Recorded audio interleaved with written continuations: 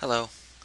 I know that you've all been eagerly awaiting my uh, continuation on uh, uh, Mecanim. So I've got a Mecanim character fully rigged here, uh, fully set up. Putting aside all of the time spent desperately searching for documentation, this really only took me about three hours. It took me almost a full week if you include desperately searching for documentation. And there is documentation, it's just not linked to anywhere. Um, but uh, this is all built in Blender using Mecanim uh, and then put into Unity. Works very straightforward. If you know what you're doing, Mecanim works perfectly. It works so fast, it's so easy, and it works so well with Unity's other system, uh, the things like rigid bodies and so on. But if you don't know what you're doing, it's impossible to use uh, at all.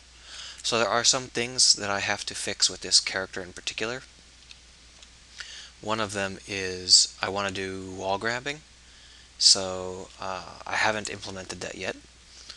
Uh, another is the shadow. I just put the shadow in like three seconds ago and I didn't bother to tweak it at all. Uh, you just need to have a shadow when you're playing games where you can land somewhere. Um, I want to fix the animations. Uh, just as a an obvious example, the jump animation doesn't actually happen until you're already in the air, which is really stupid, and I'll go ahead and fix that. Uh, and some of the other animations are a little sticky too. But all in all, I mean, for for what could be an afternoon of work, if you knew what you were doing, this is not too shabby. All of the animations and everything.